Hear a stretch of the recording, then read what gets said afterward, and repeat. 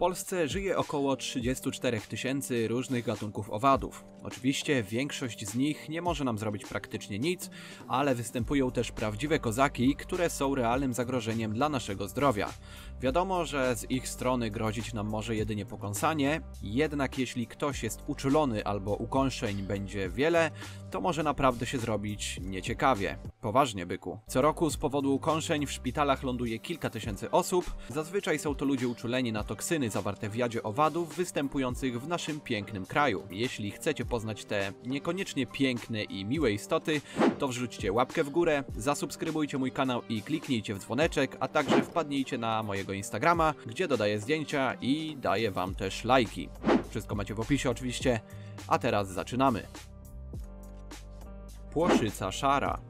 Inną nazwą tego stworzenia jest skorpion wodny, co w sumie można wywnioskować z jego wyglądu.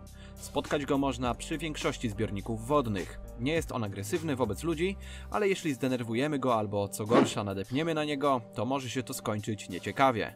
Ukąszenia tej bestii są naprawdę bolesne. Płoszyca żywi się skorupiakami i owadami. Co ciekawe, charakterystyczny bolec na odwłoku jest tak naprawdę rurką oddechową, co sprawia, że wygląda on niczym płetwonurek. Turkuć podjadek.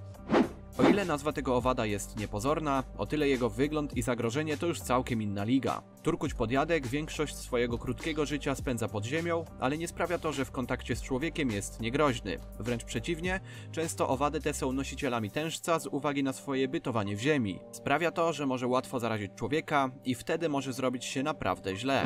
Głównie narażone na ukąszenia tego owada są osoby pracujące w polu albo w ogrodzie. Co ciekawe, turkuć nie jest wcale małym owadem, tylko wielkim owadziskiem. Dorasta do długości 7 cm, a w obwodzie może mieć nawet 4 cm, czyli więcej niż ja w bicku. Jeśli go gdzieś zobaczycie, lepiej zawróćcie i uciekajcie jak najdalej.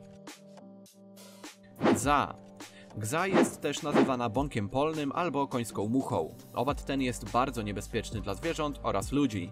Potrafi wgryzać się w ciało ofiary, pozostawiając w nim larwy. Te z kolei przenoszą różne choroby i mogą w ekstremalnych warunkach doprowadzić człowieka nawet do śmierci.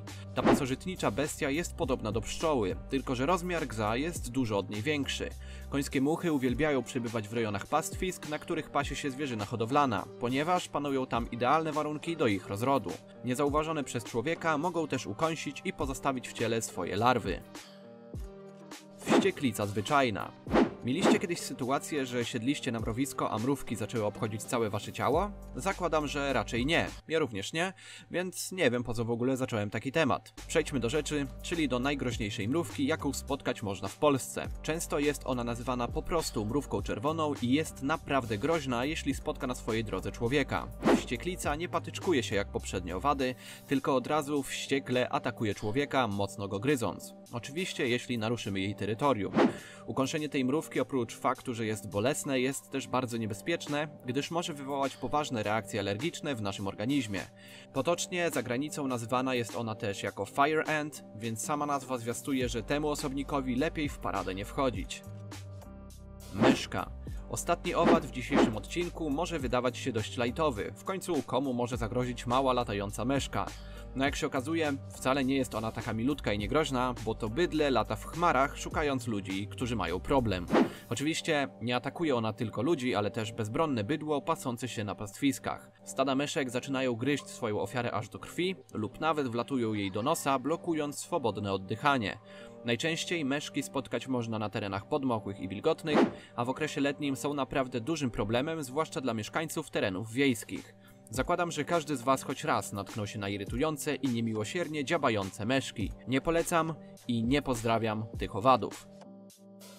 Mam nadzieję, że odcinek Ci się spodobał. Jeśli tak, oczywiście zostaw łapkę w górę, a także zasubskrybuj mój kanał i wciśnij dzwoneczek. Jeżeli masz pomysł na kolejny film, to koniecznie napisz w komentarzu, a wtedy na pewno go wykorzystam, a Ty pojawisz się w kolejnym materiale.